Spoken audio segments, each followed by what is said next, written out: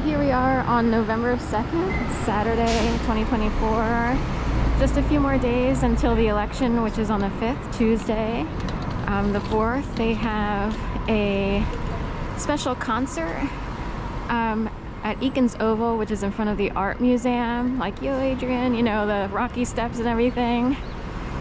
Um, I wound up, I'm sure a lot of people were on the list. What was that? Um,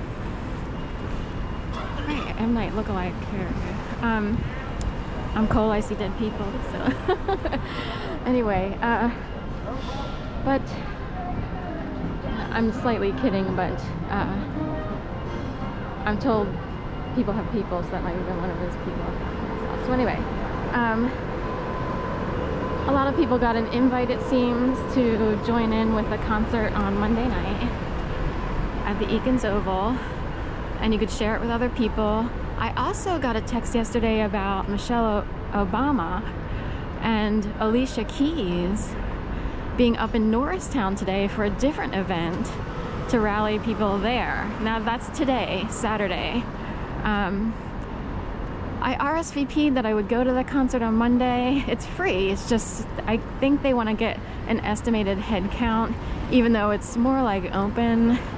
I don't know that you really have to have a ticket, you know. So, anyway, they send something to your inbox saying, you know, you're you're on the list or whatever to show up. So, um, this way. Uh, so anyway, I um, I'm still deciding how or when I'll go. Um, at 17th Street there. I live down that street. And um,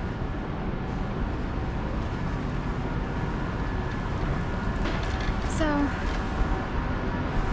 I'll decide. That's from 5 to 9 on Monday. I will decide depending on what's going on that day. Other people are showing Washington, D.C., getting geared up, you know, everybody activated for potential civil unrest or whatever reaction will occur uh, based on the voting on Tuesday into Monday. So who knows what'll happen.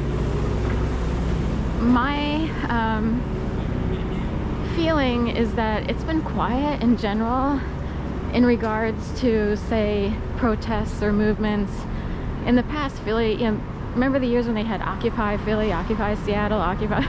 That's what I remember. None of that is going on. So it would just be like, say Kamala—one, then,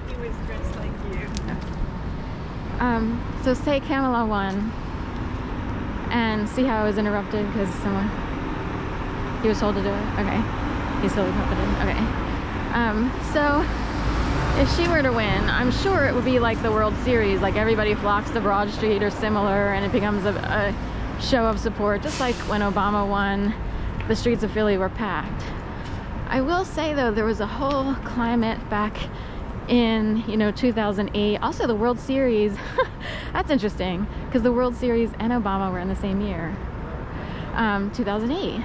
So 1980, 2008, those are the two years that Phillies won the World Series. And it just so happened to also be the election year. How about that? So there was twice when people took to Broad Street in mass as crowds. Um, so I don't know what to say. It's hard to tell. The population here is has thinned out. It's there's less people, I think.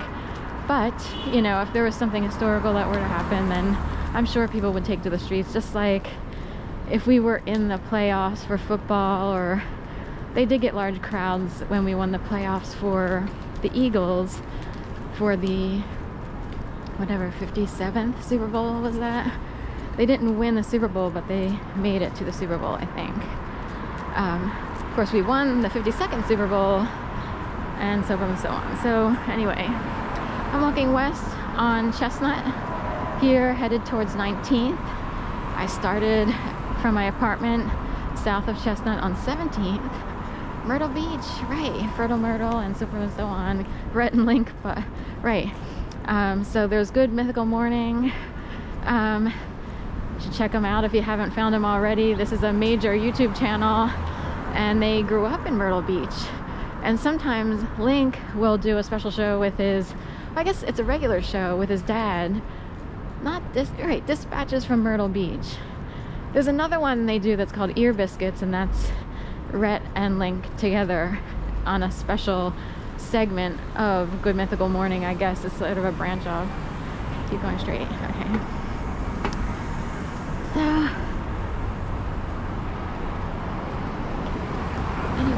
Jeni's ice cream. When they're open, it always smells incredibly sweet in there. They do have a good vegan flavor. It's Texas sheet cake. um, of course, right across from Target. Devil's Alley, or oh, oh. I didn't know this was Pro Properties. Um, that makes sense. so there's like the Devil's Alley is Pro Properties. Pro Properties owns a lot of properties. They own the Target property and Kafar. That whole block over there is probably Pearl. There's Bankroll. This used to be a theater and now it's some sort of. I have to look it up again. It's like a sports restaurant.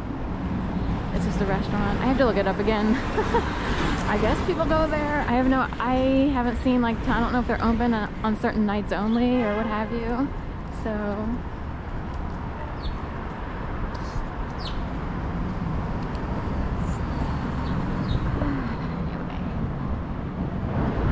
Another building 1920 they have the black and white Sephora stripes in their foyer. Um, I've never seen anyone maybe once I've seen someone go in there but whenever I see Sephora I see jail. So um, it's the same stripes and you know that's all I see so, no it wasn't a long time. Oh what's going on here so they're doing plastic on where their windows broken out, or are they just putting up? Oh, they're doing a paint job here at Old Nelson. So I guess they're uh, doing a paint job. Is that the person who looks like one of my clients but works at Mom's? Um, a paint job here at Old Nelson or what have you. Um, we're across from Dunkin' Donuts. I'm gonna go north here on 21st, I guess, or 20th, where am I? Or wait, 17 goes south, so 18 north, so 20th. Hangry Joe's or Angry Joe's. And someone was dressed up as a chicken for on Halloween, for the Halloween parade in, at the White House. And so anyway, nuts to you. Do you get it already? Drive someone nuts and angry, they go hand in hand. Pro Property's good at that. They're really good at that or the people who gravitate towards pro properties. I didn't really gravitate towards them. I live in a building that's owned and managed by pro properties. It's more of a charity case. it's more like I rented from them years ago in a much smaller building um, above Dirty Frank's, Pineview Apartments, which is now owned and operated by someone else, Renzi uh, Properties. Oh, Topside Tavern. Oh, it's Eagles. Um, this used to be like Farmer's Keep, which we always called Farmer's Creep for some reason. so anyway, um, and I wound up sort of in a jam and I wasn't sure what to do and I was desperate when I came back to Philadelphia. I didn't know where to get an apartment and all that stuff. I had to do it in a hurry.